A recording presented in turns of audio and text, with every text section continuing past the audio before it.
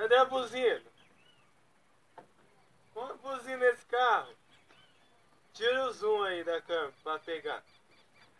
Rapaziada, se vocês quiserem que eu gravo num Gol G6 pra vocês aí, deixa aí nos meus comentários aí do vídeo.